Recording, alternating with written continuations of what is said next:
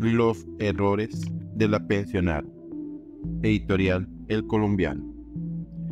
Con día y medio de debate en la Cámara, el petrismo introdujo una posición para aprobar a pupitras la reforma pensional.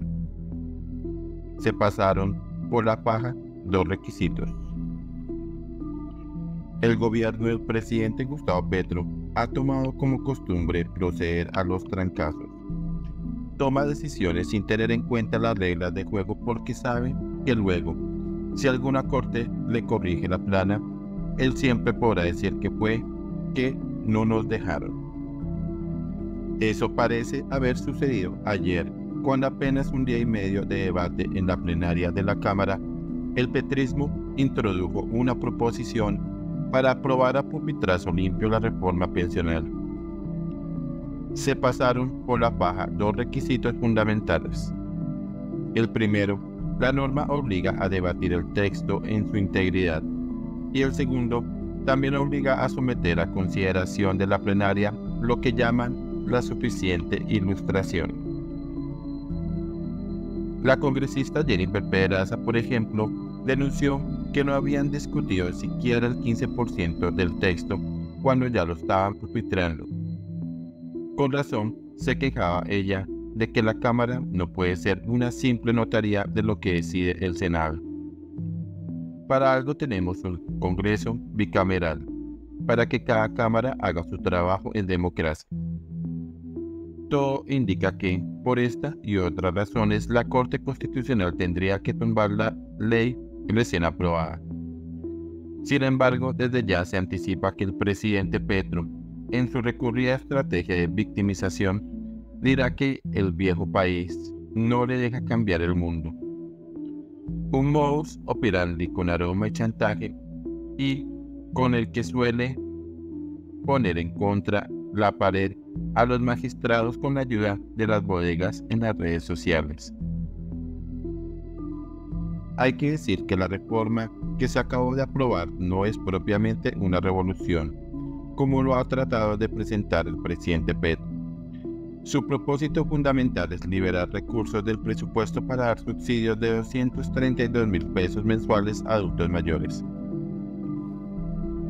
Algo que Petro habría podido hacer desde el primer día de su gobierno sin necesidad de reforma, haciendo recortes a los gastos del Estado fomentando la producción de riqueza y siendo ordenado en el gasto fiscal. Tres cosas en las que ha brillado por su ausencia su gobierno. Hay que recordar que los subsidios a los adultos mayores ya se dan en Colombia desde hace 20 años. Y por supuesto, multiplicarles por tres la plata que hoy les giran sin duda es bueno. El otro punto positivo de la reforma es que elimina subsidios a quienes tienen mesadas más altas. Pero como ya hemos dicho, lo no tan bueno es que al poner el tope de 2,3 salarios mínimos, un tope que no se basa en consideración técnica alguna, el Estado podría estar dando subsidios hasta este monto incluso a ultramillonarios. ¿Por qué no se bajó a un salario mínimo el umbral como lo propuso el Comité Autónomo de la Regla Fiscal CAR? Pues porque el gran propósito de Gustavo Petro es poder dar subsidios. Y si solo podía disponer de un salario mínimo, no le alcanzaba. Una verdadera reforma pensional habría subido la edad de pensión, como ya se hizo en otros países, para hacer el sistema sostenible. Por ejemplo, o tendría que meterle la mano a los otros regímenes especiales que son igual de onerosos e inequitativos con el resto de la población. Y ojalá debería buscar fortalecer o crear una entidad competente para que se encargue de manejar estas nuevas obligaciones que asume el Estado. Pero nada de esto está en la reforma. Ese aspecto de la entidad que administrará las decisiones de la reforma es crucial. Hoy se llama Colpensiones y como lo alertó la Procuraduría, no está lista para echarse ese enorme peso sobre estos hombros.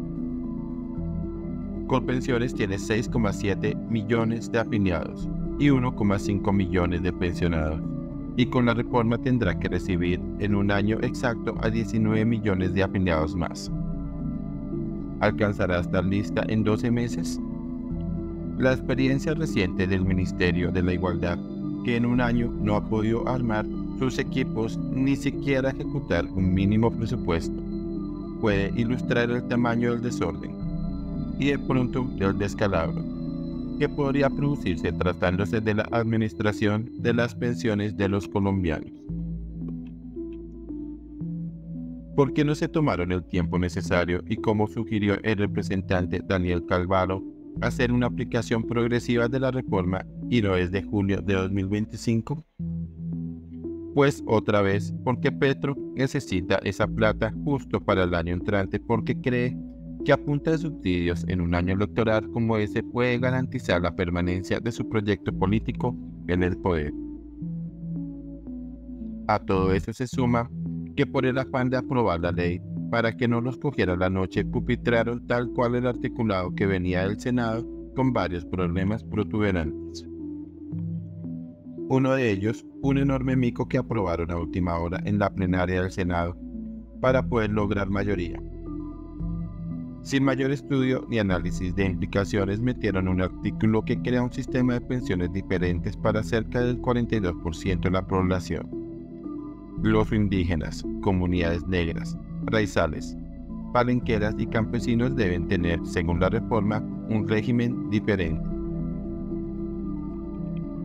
Otro problema heredado del Senado, también mico, es que se crea un impuesto para las pensiones de cierto monto en adelante de todos es sabido que este tipo de ley no puede crear nuevos tributos. Y también se aprobó otro aspecto que no ha sido suficientemente debatido, y es hasta qué punto puede resultar perjudicial para el sistema fiscal del país que al Banco de la República se le abrogue la responsabilidad sobre el manejo de las pensiones, como lo hace el articulado. La manera apresurada y descuidada como se aprobó la reforma pensional, ojalá no sea el preámbulo de un futuro desmadre en la administración del ahorro pensional de todos los colombianos.